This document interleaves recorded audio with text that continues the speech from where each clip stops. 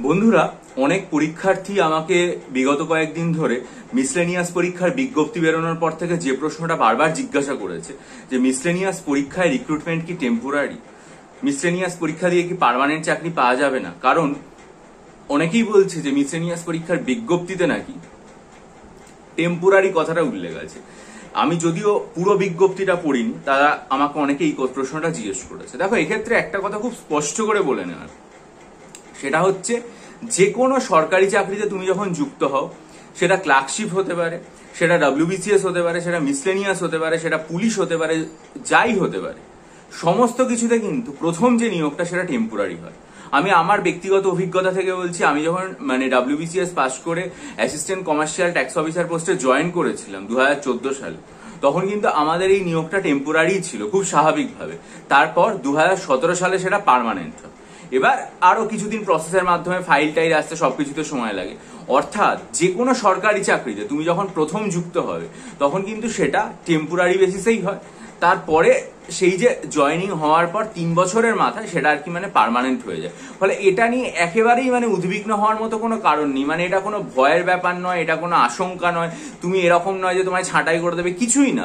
এটা একটা স্বাভাবিক প্রক্রিয়া যে পাবলিক সার্ভিস কমিশনের মাধ্যমে পরীক্ষা দিয়ে যখন তুমি যুক্ত হচ্ছ হয় একজন ডিএসপি ধরা যায় একজন এক্সিকিউটিভ ধরা যায় একজন মানে মিসেনিয়াস পরীক্ষা দিয়ে যুক্ত হলেন, ঠিক আছে? বা একজন ক্লার্কশিপে সব ক্ষেত্রেই কিন্তু একই নিয়ম আমি দেখেছি।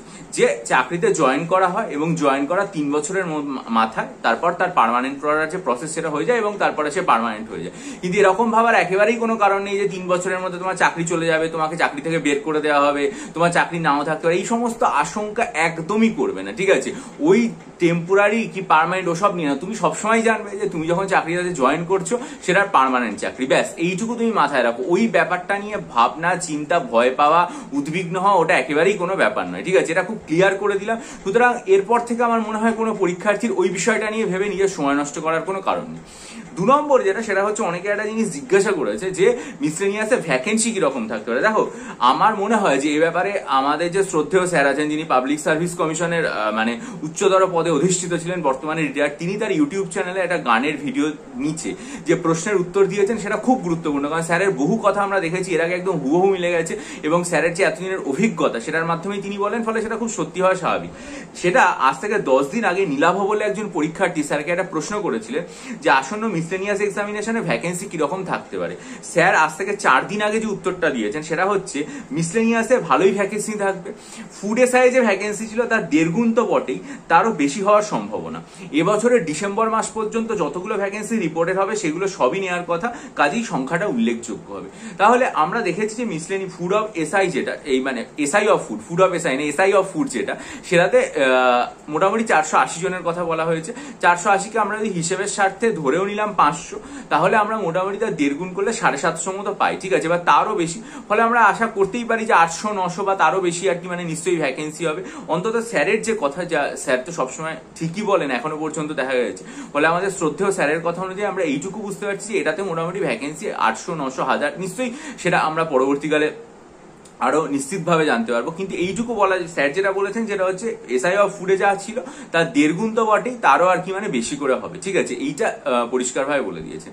আর একটা কথা, সেটা আমাকে অনেকে জিজ্ঞাসা করছেন যে ফুডে মানে মিসলেনিয়াস যেটা, সেই মিসলেনিয়াসের প্রস্তুতির বিষয়। দেখো মিসলেনিয়াসের প্রস্তুতির বিষয়ে যে ভিডিওটা সেটা কয়েকটা ভাগে আমার মনে হয় করা উচিত, কারণ সেখানে প্রিলিমিনারি আছে, সেখানে আর কি মানে মেন্স আছে। এবং সবচেয়ে বড় কথা, সেটা হচ্ছে এখনকার দিনে ডাব্লিউবিসিএস মেন্স যেটা দেওয়া হয়, সেটা তো এমসিকিউ তার একটা মানে অর্ধেক পোর্শনটাই এমসিকিউ কিন্তু মিসলেনিয়াস একটা পুরোটাই ডেসক্রিপটিভ ফলে তার একটা সেপারেট ভিডিও শুধু আজকে যেটা বলা উচিত সেটা হচ্ছে যে মিসলেনিয়াসের কাট অফটা সম্পর্কে আমাদের একটু ধারণা করে নেওয়া দরকার।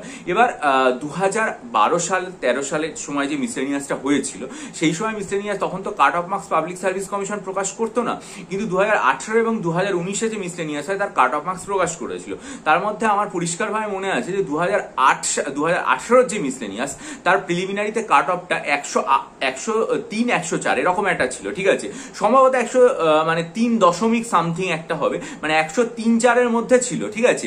আর দু হাজার উনিশের যে মিসলেনিয়াস হয়েছিল, সেটার যে cut off marks public service commission প্রকাশ করেছিল, তার নম্বরগুলো পার্সেন্টেজে প্রকাশ করা হয়েছিল। আমার স্পষ্টভাবে মনে আছে যে পার্সেন্টেজে প্রকাশ করা হয়েছিল এবং সেখানে মানে মানে আটান্ন, ঠিক আছে? আনরিজার্ভ ক্যাটাগরিতে যে মানে কাট অফটা প্রকাশ করা হয়েছিল, সেটা মানে ফিফটি এইট এরকম পার্সেন্ট তাহলে আমরা যদি হিসেব এই fifty four percent fifty eight না সরি ফিফটি ফোর পার্সেন্ট তাহলে আমরা যদি মোটামুটি হিসাব করি, তাহলে সেটা দাঁড়াবে হচ্ছে একশো আট নয় মতো, ঠিক আছে? তাহলে একশো আট নয়, কারণ দশমিক একটা কিছু থাকবে।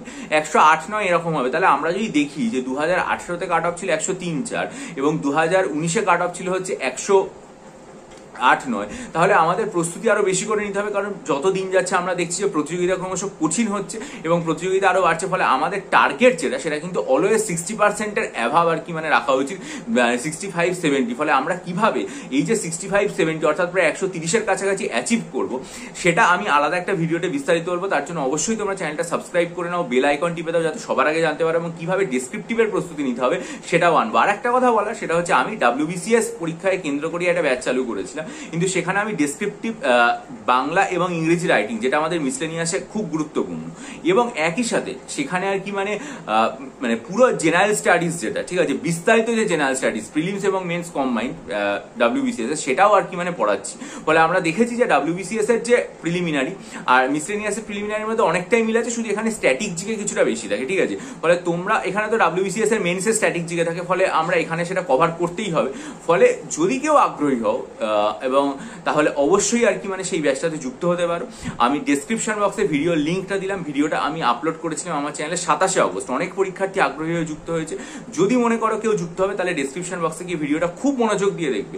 দেখার পরে যদি আর কি মানে মনে হয় যে তোমরা ব্যাচে যুক্ত হতে চাও, তাহলে অবশ্যই আমাকে যে ইমেল আইডিটা দেওয়া আছে ইমেল আইডি ইমেল করে দিও এবং তারপর আমি বলে দেবো যে কীভাবে ইমেলের সাথে মাধ্যমে আমার সাথে যুক্ত হতে হবে, ঠিক আছে? আর আমি আরও একটা জিনিস ভেবেছি যে পুজোটা হয়ে যাক, তারপর থেকে মিসেলিনিয়াস প্রিলিমিনারির জন্য যে মক টেস্ট নেওয়া, সাপ্তাহিক। এখন তো আমি ডাব্লিউবিসিএস এবং ফুড এস মক টেস্ট আমার অনলাইন ব্যাচগুলোতে সাপ্তাহিকভাবে নিয়ে থাকি, তখন মিসলেনিয়াসটাও আস্তে আস্তে ধাপে ধাপে আর কি মানে শুরু করব। এই হচ্ছে ভিডিওর বক্তব্য, ভালো লাগলে লাইক করো, বন্ধুদের মাঝে শেয়ার করো।